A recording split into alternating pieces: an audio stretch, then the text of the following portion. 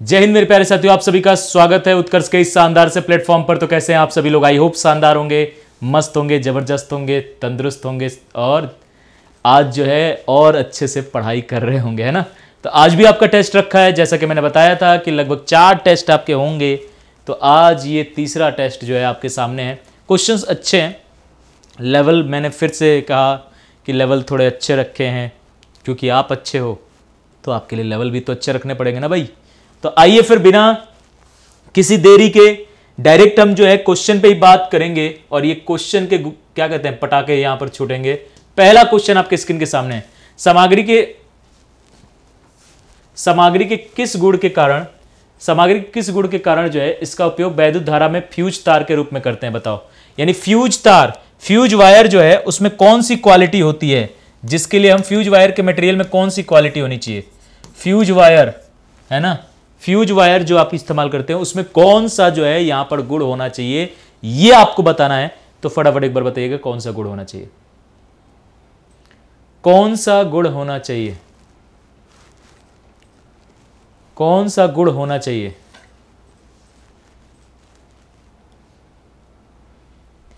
Fuse wire के लिए कौन सा गुड़ होना चाहिए?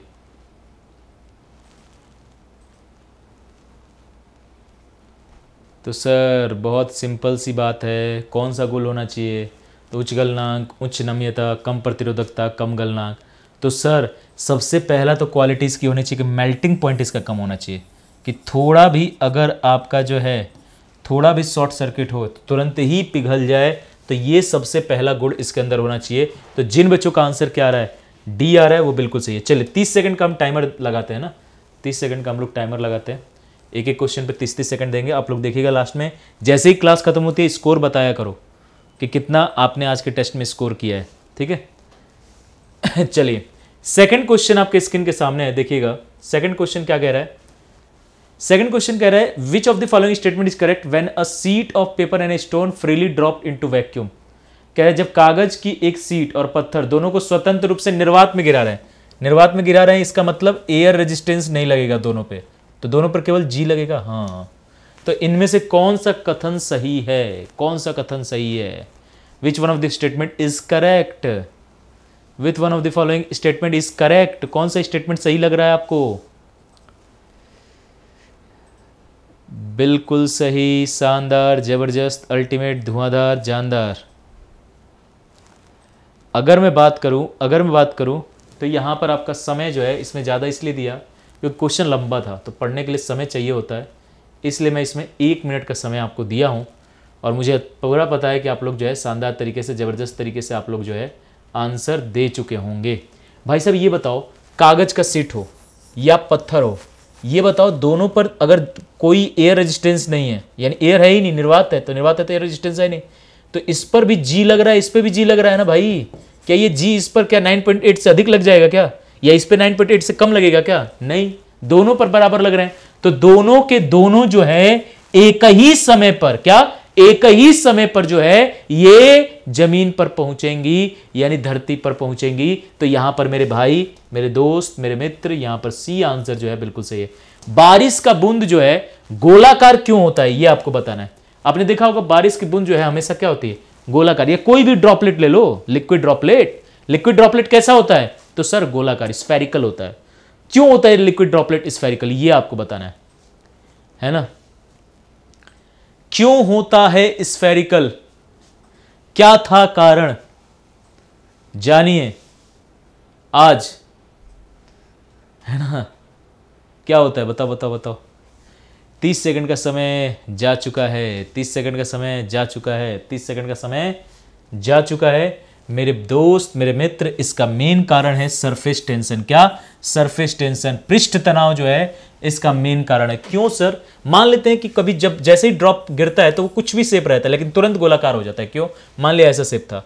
तो इसके जो बाहरी मॉलिक्यूल है ना, बाहर के जो अणु है, जो एकदम आउटर सरफेस पे ये हैं, पानी के ये आउटर सरफेस पे हैं, इन पर जो ये अंदर वाले मॉलिक्यूल है ना, इनको खींचते हैं।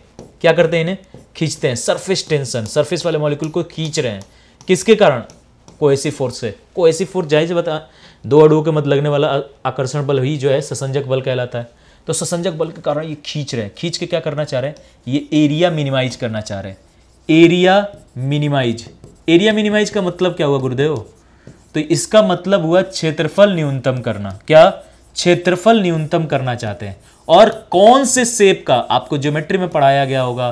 मैथ्स वाले गुरुजी लोग आपको पढ़ाए होंगे चिल्ला चिल्ला के बोले होंगे कि बाबू जब बोल दे कि क्षेत्रफल न्यूनतम कौन से सेप का होता है तो आप बोलोगे, सर सर सर स्फेयर का होता है। कैसा? स्फेयर का। तो ये भी तो एरिया मिनिमाइज करना चाह रहा है। तो कैसा सेप आकार धरेगा? कैसा आकार धर लेगा ये? तो ये आकार धारण कर लेगा कैसा?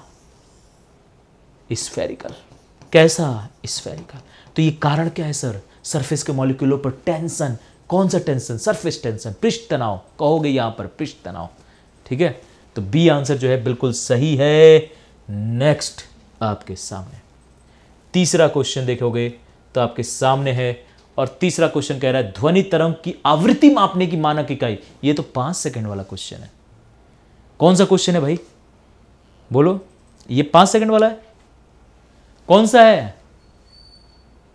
आप ही से पूछ रहा हूँ। मुस्किया रहे हो खूब, क्लास देख के? हैं? मुस्कियाना मतलब समझते हो? मुस्काना, हंसना। यहाँ से अगर मैं कहूँ, ध्वनि तरंग की आवृत्ति, सर, आवृत्ति आवृत्ति जो है, मापने की इकाई क्या होती है? हर्ज या पर सेकंड कह लो या हर्ज कह लो। हर्ज जो है, ये आपके फ्रीक्वेंसी की यूनिट होती है। बहुत शानदार तरीके से आप लोगों ने बताया। चलिए उस गति का उपयोग ऊर्जा संरक्षण की धारा को समझने के लिए करते हैं। कौन सा लॉ जो है थर्मोडाइनमिक्स का जो कंजर्वेशन ऑफ़ एनर्जी को समझाता है? या कंजर्वेशन ऑफ़ एनर्जी से हम उसे समझते हैं। कंजर्वेशन ऑफ़ एनर्जी ऊर्जा संरक्षण सिद्धांत। क्या कहता है ऊर्जा संरक्षण सिद्धांत? ऊर्जा संरक्षण सिद्धांत कहता है energy neither be created nor be destroyed it can only transfer from one medium to another medium ऊर्जा को ना तो उत्पन्न कर सकते हैं, ना ही नष्ट कर सकते हैं। इसे केवल एक माध्यम से दूसरे माध्यम में बदल सकते हैं। ये जब भी लाइन बोलता हूँ तो मुझे एक लाइन याद आती है। आत्मा ना तो जन्म लेती है, ना मरती है। आत्मा न तो जन्म लेती है, न मरती है। तो क्यों तो व्यर्थ ही चिंता करता है तो व्यर्थ ही किसी से डरता है। आत्मा ना तो जन्म लेती है, न मरती है। तो इस पर कौन सा है भाई साहब? फ़र्स्ट लॉ क्या? फ़र्स्ट लॉ ऑफ़ थर्मोडाइनमिक्स जो है, इसी पर आधारित है। Law of conservation of energy पर तो जिन बच्चों का, प्यारे बच्चों का, नन्हे मुन्ने राई बच्चों का आंसर आ रहा है क्या? बी वो बिल्कुल सही है। आइए नेक्स्ट यदि स्रोत का तापमान बढ़ जाए तो दक्षता क्या होगी ये बताना है। ये आपको जो है आंसर देना है। कार्नट इंजन में सोर्स का टेम्परेचर बढ़ा रहा है। कार्नट इंजन या कोई इंजन अगर सोर्स का मतलब होता है सर इनपुट इनपुट बढ़ाओगे तो ज़ाहिर सी बात है आउटपुट बढ़ जाएगा यार। तो ओवरऑल एफिशिएंसी क्या होगा? ओवरऑल एफिशिएंसी जो है बढ़ जाएगा, इसमें सोचने की बात ही नहीं है। इसमें कोई सोचने की बात ही नहीं है, बात ही नहीं है। नेक्स्ट इसमें कह रहे द्रव्यमान केंद्र का सूत्र क्या होता है इनमें से? द्रव्यमान केंद्र। Centre of mass centre of mass द्रव्यमान केंद्र। क्या होता है सूत्र? क्या होता है? बता दो। Sir centre of mass centre of mass का मतलब क्या हुआ सर सेंटर ऑफ़ मास का मतलब मैं कैसे समझाऊं? ये ये करके दिखाओ, ये। सेंटर ऑफ़ मास पे अगर फोर्स लगा तो ये बैलेंस हो जाएगा। आ जाओ, इसका प्रचार नहीं करना कंपनी का। आ जाओ बैलेंस हो जा। सेंटर ऑफ़ मास जब तक सेंटर ऑफ़ मास को बैलेंस किया हूँ, तब तक क्या था? बैलेंस था। जब तक सेंटर ऑफ़ मास पे मेरा फोर्स लगा रहा था, तब तक वो बैलेंस था। ठीक है? लग जा सेंटर ऑफ़ मास पे। इसमें क्या है? पानी है तो वो हिल रहा है ना तो इसके सेंटर ऑफ़ मास को डिस्टर्ब कर रहा है। जहाँ पर इसका संपूर्ण द्रव्यमान केंद्रित है, वही सेंटर ऑफ़ मास है है ना? संपूर्ण द्रव्यमान क्या है? केंद्रित है। इसी को क्या कहते हैं भाई? सेंटर ऑफ़ मास तो आइए, इसको क्या कहते हैं? आर सी एम और ये होता है M one R one plus M two R two upon में M one plus M two तो ये होता है sir B B is the right answer centre of mass जहाँ पर पिंड का संपूर्ण द्रव्यमान केंद्रित है। इसी को सेंटर ऑफ़ मास कहते हैं। इनमें अधिस राशि कौन है? स्केलर क्वांटिटी इनमें कौन सा ऐसा जो है स्केलर है? इनमें से अधिस कौन है? स्केलर कौन सा है, बताइएगा। स्केलर कौन सा है?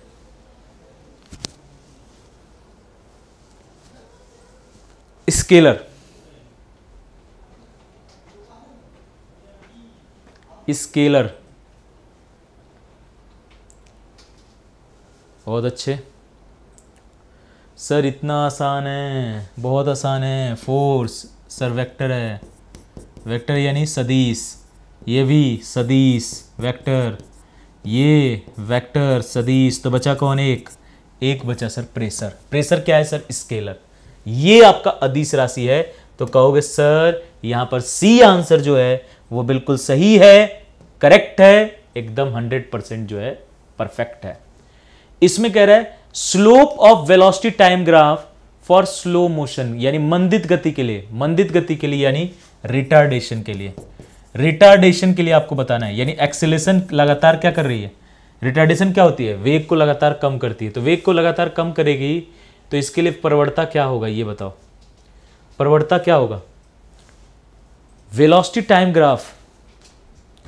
क्या होगी? क्या होगी? क्या होगी? क्या होगी? बताओ।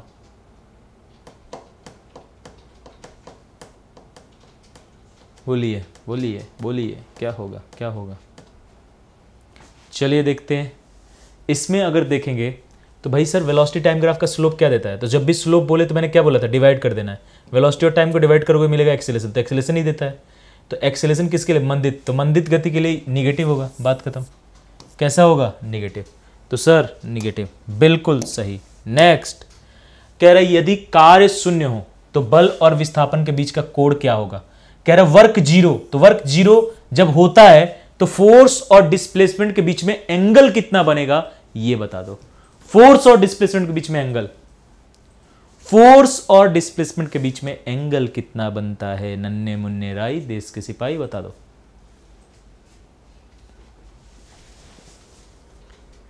क्या होता है?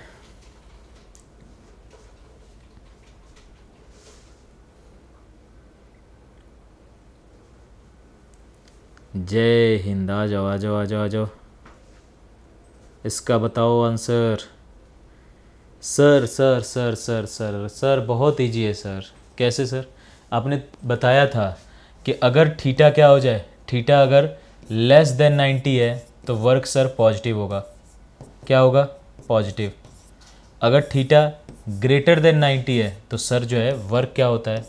वर्क होता है निगेटिव और अगर थीटा 90 डिग्री हो जाए, यानी बल और विस्थापन के बीच का कोण 90 डिग्री हो जाए उस कंडीशन में सर वर्क ज़ीरो हो जाता है। जैसे कूली वाला एग्ज़ाम्पल दिया था। कूली जो है अपने सर पे सामान लेके जाता है और जब वो जो है देखेगा तो वेट इसका लगेगा नीचे की तरफ़। डब्लू रिएक्शन नॉर्मल ऊपर की तरफ़। वो जाएगा किधर? या तो वो जाएगा, या तो वो जाएगा इधर या इधर। किधर भी जाएगा तो विस्थापन और इसके बीच में, बलों के बीच में देखोगे तो ये एंगल 90 ये एंगल 90 90 डिग्री बन रहा है। तो इसलिए इसके द्वारा किया गया कार्य शून्य होता है। अब ये नहीं कि जाके कुली से काम करा लेना, पैसा मत देना, बहुत मार मारेगा।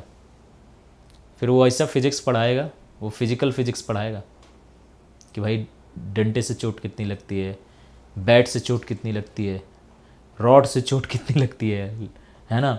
दस लोग जब मुक्के मारते हैं तो चोट कितनी लगती है, ये सब पढ़ाएगा। तो इसलिए उससे जाके उलझना नहीं है कि तुमने काम ही नहीं किया है वर्क ही नहीं किया, बहुत मार मारेगा, है ना?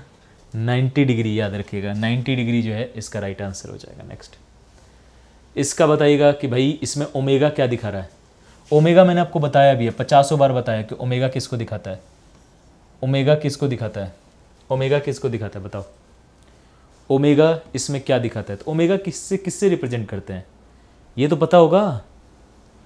ओमेगा को किससे रिप्रेजेंट करते हैं? मेरे दोस्त, मेरे मित्र, मेरे साथी, मेरे सहपाठी। बताओ। किससे रिप्रेजेंट करते हैं, सर?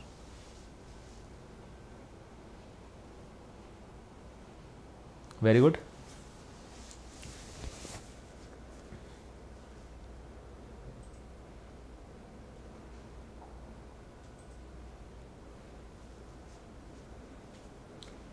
यहाँ से अगर मैं बोलूँ, यहाँ से अगर मैं बोलूँ तो यहाँ पर काफ़ी लोगों का आंसर आ रहा है। हाँ। तो यहाँ पे ओमेगा क्या है भाई? मैंने बताया था इसको, या तो एंगुलर वेलोसिटी कह लो, या एंगुलर फ्रीक्वेंसी कह लो, यानी कोड़ी आवृत्ति या कोड़ीय वेग। यही तो होता है। कोड़ीय वेग या कोड़ीय आवृत्ति। तो जिन बच्चों का आंसर क्या आ रहा है? सी वो बिल्कुल सही है। जब हम एक बर्तन, बर्फ़ गर्म करते हैं तो पानी परिवर्तित होने के बाद पानी का स्तर क्या होगा? तो बर्फ़ को हम गर्म करेंगे तो बर्फ़ पिघलेगा। पिघलेगा तो वो पानी का स्तर क्या होगा? बढ़ेगा, घटेगा, समान रहेगा, बढ़ेगा और फिर घटेगा बताइएगा। जब हम एक बर्तन में बर्फ़ गर्म करते हैं तो पानी में परिवर्तित होता है। पानी का स्तर क्या होगा? बोलिए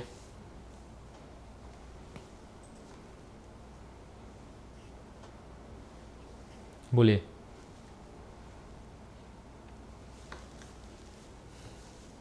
नॉर्मली अगर पानी देखो पिघलता है तो उसमें तो भाई इसमें ये आपको बोला नहीं ना कि बर्तन किस चीज़ की है। अगर मेटल की रहती तो वो भी एक्सपेंड करती तो फिर तो सेम रहता। लेकिन अगर नॉर्मली देखेंगे तो बर्फ़ जब पानी में बदलता है तो वो अपने लेवल से क्या होता है? सर अपने लेवल से वो डिक्रीज करता है, इसमें कोई शक की बात नहीं है। चलिए, लेवल इसका डिक्रीज हो रहा है। है ना? इस पर सबसे अच्छा वो आ रहा है। मुझे अभी लेवल जब शब्द सुनता हूँ तो मुझे और एक चीज़ याद आती है। लेवल सबका निकलेगा, है ना?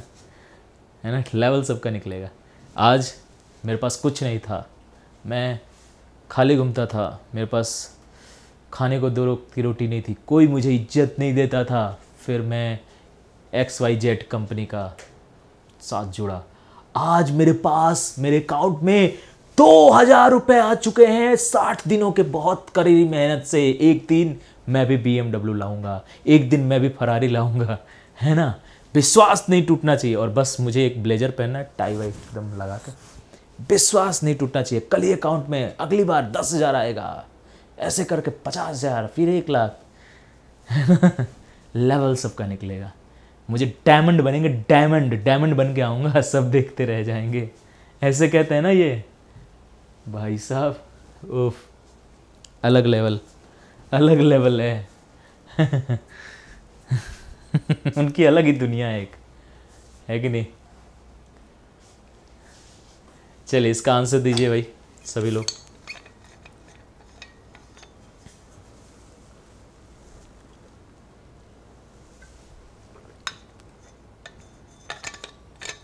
यहाँ पर फोकल लंबाई दिया हुआ है और पावर निकालना। पावर क्या होता है सर सेंटीमीटर में है तो सेंटीमीटर में तो पावर हो जाएगा हंड्रेड अपॉन फोकस क्या होगा sir hundred upon focus hundred upon focus का मतलब सर फोकस कितना दिया है? फिफ्टी सेंटीमीटर और कौन सा लेंस है? उत्तल लेंस उत्तल लेंस में हमेशा याद रखना कॉन्वेक्स लेंस का पावर हमेशा क्या होता है? कॉन्वेक्स लेंस यानी कि उत्तल लेंस इसका पावर हमेशा क्या होता है?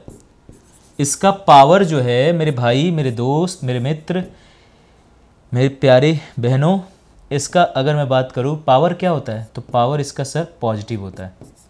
और अगर मैं बात करूँ कॉन्केव लेंस तो कॉन्केव लेंस का पावर क्या होता है? अवतल लेंस अवतल लेंस का पावर क्या होता है? अवतल लेंस का पावर अगर देखोगे तो ये होता है निगेटिव समझ गए? तो यहाँ से आपका हंड्रेड अपॉन में फिफ्टी अगर हम देखें सर तो ये दो बार में जा रहा है तो दो डायोप्टर तो आ जाएगा, लेकिन कौन? प्लस या माइनस? तो कॉन्वेक्स है सर, प्लस। प्लस। प्लस। चलिए, नेक्स्ट। नेक्स्ट अगर बात करें तो इस क्वेश्चन को तो आप करिए। दो सतह क्षेत्र से लंबवत गुजरने वाली चुंबकीय क्षेत्र रेखाओं की संख्या को क्या कहते हैं? तो सतह क्षेत्र से लंबवत गुजरने वाली चुंबकीय क्षेत्र रेखाएँ अगर वैद्युत बल वैद्युत रेखाएँ होती हैं सतह से लंबवत गुजरने वाली तो इनको क्या कहते हैं? वैद्युत फ्लक्स। ये कौन सी हैं? चुंबक वाला है, सर। चुंबक वाले हैं? हाँ सर, चुंबक वाले हैं। तो क्या हो जाएगा? चुंबकीय चुंबकीय चुंबकीय चुंबकीय चुंबकीय चुंबकीय चुंबकीय फ्लक्स। Magnetic flux. आ जाइए। अच्छा और आपको क्या पता है? क्या, सर? आपको ये पता होना चाहिए कि भाई साहब, दिवाली का तगड़ा ऑफ़र जो है, उत्कर्ष के द्वारा आपको दिया जा रहा है, जिसमें इस बार दिवाली जो है, दिवाली का ट्रिपल धमाका आपको मिल रहा है। ट्रिपल धमाका कैसा है, सर? आपको एसएससी या रेलवे या और कोई भी आप ऑनलाइन कोर्सेज के साथ जुड़ते हैं उत्कर्ष के साथ तो इस पर अप टू 90 परसेंट का आपको डिस्काउंट मिल रहा है। थ्री मंथ की एक्स्ट्रा वैलिडिटी क्या? तीन महीने की एक्स्ट्रा वैलिडिटी आपको मिल रही है। साथ में अगर आप लाइव फ्रॉम क्लासरूम बैच के साथ जुड़ते हैं तो आपको प्रीवियस रिकॉर्डेड क्लासेज जो है प्रीवियस बैच का जो है, पूरी रिकॉर्डेड क्लासेज आपको उसमें जो है मिलेंगी। तो ये तीन तीन धमाका एक साथ हो रहा है आपके लिए, ठीक है? और ये ऑफ़र कब तक रहेगा सर? तो तीन नवंबर तक, याद रखिएगा, कब तक? तीन नवंबर तक जो है ये ऑफ़र रहने वाला है। अगर आप रेलवे में, सर, नई बैच कोई है क्या? एनटीपीसी के लिए तो हाँ अभी देखोगे तो एन एनटीपीसी के लिए एक्सप्रेस 2.0 बैच आया हुआ है, जिसमें दिवाली बाद मेरी क्लास जो है लगने वाली है तो उसमें आप कॉन्सेप्ट सीख सकते हो। जानदार, शानदार, जल और ज़बरदस्त तरीके से। आइए, देखते हैं नेक्स्ट क्वेश्चन बड़ा प्यारा सा क्वेश्चन है ये, और इसका आंसर दीजिए सभी लोग, देखिएगा। बड़ा प्यारा क्वेश्चन है। एक सीधी सड़क पर चोरी एक तिहाई भाग 20 किलोमीटर पर आवर शेष भाग 60 किलोमीटर पर आवर से पूरा करता है औसत चाल। तो देखो यहाँ दूरी सेम नहीं है। ना ही यहाँ पर जो है टाइम सेम है। तो यहाँ पर हम अपना पुराना फॉर्मूला लगा देंगे total distance upon total time तो सर डिस्टेंस भी नहीं है। तो भैया डिस्टेंस मानना पड़ेगा। बड़ा प्यारा क्वेश्चन है। आनंद आ जाएगा। इसको करके देखो। एक मिनट का समय दे रहा हूँ। उसके बाद मैं कराऊँगा। देखना, बहुत आनंद आएगा ये। इतना अच्छा अच्छा कॉन्सेप्ट यूज़ होगा। इतना तगड़ा तगड़ा कॉन्सेप्ट यूज़ होगा। आप कहोगे, सर, ये तो पूरा मैथ्स वाला क्वेश्चन निकल गया। वो भी मेंस वाला निकल गया। है ना? मेंस में भी आते हैं ना? सी जी एल मेन्स में हूँ सॉरी एन में भी आपके ये टाइम डिस्टेंस वाले तो आते ही होंगे? स्पीड बोलिए। इजी है? कैसे सर बताओगे तब समझ में आएगा इजी है कि नहीं है? ऐसे तो नहीं समझ में आएगा। है ना? बोलिए। आइए देखते हैं। अगर मैं बात करूँ, अगर मैं बात करूँ, अगर मैं बात करूँ तो सुनो टोटल मान लेते हैं, यहाँ पर दूरी सेम है। एक लेके एक तिहाई दूरी कह रहा है, फिर दो तिहाई शेष बचा तो शेष क्या बचेगा? दो तिहाई बचेगा। तो सर, ऐसा बोल रहा है तो दूरी भी सेम नहीं है डिस्टेंस भी सेम नहीं है टाइम भी सेम नहीं है तो पूरा, मान लेते हैं टोटल डिस्टेंस कितना है? टोटल डिस्टेंस है एक्स यहाँ से यहाँ तक का। और वो कह रहा है एक तिहाई, यानी x by three x by three कितने से चल रहा है, सर? बीस से। और शेष शेष कितना बच जाएगा? टू एक्स बाई थ्री तो सर ये कितने से चल रहा है? साठ से। मान लिए यहाँ से यहाँ तक चलने में इसको समय लग रहा है टी वन और यहाँ से यहाँ तक समय लग रहा है टी टू मैंने आपको बोला था, जब कुछ भी सेम ना हो तो अपना नॉर्मल फार्मूला जो है वो लगाना है। क्या? वी एवरेज क्या होता है सर? तो ये होता है सर टोटल डिस्टेंस यानी कुल दूरी अपॉन में टोटल टाइम यानी कुल दूरी कुल दूरी अब बटे में कुल समय। और अगर मैं कहूँ, अगर मैं कहूँ कुल दूरी कितना है तो कुल दूरी सर एक्स है। कुल टाइम सर तो टी वन टी टू है तो T one plus T two अब सर टी वन की वैल्यू निकाल सकते क्या? हाँ। स्पीड क्या होता है? तो सर, इतना भी नहीं पता, बताओ, इतने सालों से आठ साल, सात साल कहते हो, पढ़ा रहे हैं। आपको नहीं पता है स्पीड क्या होता है? डिस्टेंस अपॉन टाइम दूरी अपन, दूरी बटे समय। अब बताओ, मैं पूछूँगा समय क्या होता है? अरे सर, मज़ाक मत करो टाइम अगर मैं बोलूँगा तो ये हो जाएगा, क्या क्या क्या डिस्टेंस अपॉन में स्पीड यानी दूरी बटा चाल। यस सर तो इसी से निकाल मेरे भाई। निकालो रे मुन्ने, निकालो मेरे भाइयों। क्या टी वन और टी टू टी वन निकालेंगे तो टी वन के दौरान दूरी क्या है? टी वन के दौरान दूरी है एक्स बाई थ्री तो सर मुझे क्या निकालना है? टी वन तो टी वन के दौरान दूरी कितना है? एक्स बाई थ्री तो एक्स बाई थ्री और टी वन के दौरान चाल. चाल सर बीस किलोमीटर तो बीस. नीचे बीस है. नीचे चाल है ना तो नीचे बीस. तो ये कितना आ रहा है? ये आ रहा है सर एक्स अपॉन में सिक्सटी हाँ ये निकाल के रख दिया. अब सर टी टू निकालो. टी टू निकालेंगे टी टू के दौरान टोटल डिस्टेंस कितना है sir two x by three तो टू एक्स बाई थ्री और स्पीड कितना है सर साठ.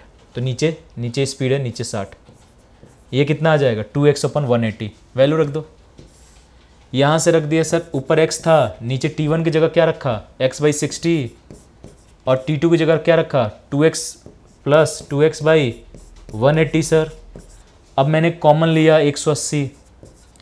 कॉमन लिया एक सौ अस्सी। क्या हुआ? ऊपर सबसे ऊपर तो एक्स था ही।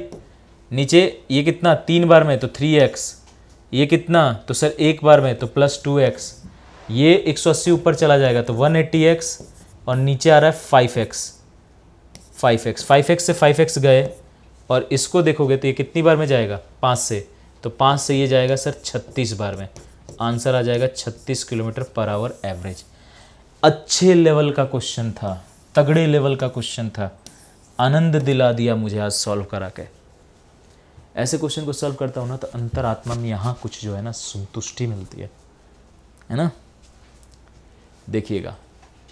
एक बार दोबारा देख लीजिएगा इसको। रिपीट करिएगा दो बार तो ये क्वेश्चन आपको क्लियर हो जाएगा। क्लियर है? क्लियर है? चलिए। दिवाली पर छोड़े जाने वाला पटाखा 400 मीटर पर सेकंड के वेग से चलता है। तो जब भी 400 मीटर पर सेकंड के प्रति दर से जल रहा है। वेग से प्रति सेकंड की दर से हो रही है तो रॉकेट पर लगने वाला त्वरक बल क्या क्या मानो वेग से प्रति सेकंड की दर। इसमें देखो, इसमें क्या है ना, क्वेश्चन आधा अधूरा है। क्यों? केवल वेलोसिटी दिया है। इसमें मास देना ही चाहिए। मास बिना चेंज बिना चेंज में मास दिए कोई नहीं कर सकता। मतलब ही नहीं बनता, है ना? केवल वेलोसिटी से कैसे निकाल लोगे? फोर्स वो भी। चले कड़ित्र किस सिद्धांत पर कार्य करता है बताइएगा। कड़ित्र किस सिद्धांत पर कार्य करता है? कड़ित्र, एटोमाइजर। एटोमाइजर, इसको कहते हैं एटोमाइजर। एटोमाइजर किस पर काम करता है? एटोमाइजर किस सिद्धांत पर कार्य करता है बताइएगा। एटोमाइजर के बारे में अगर बात करें, किस सिद्धांत पर कार्य करता है, क्या बोलोगे?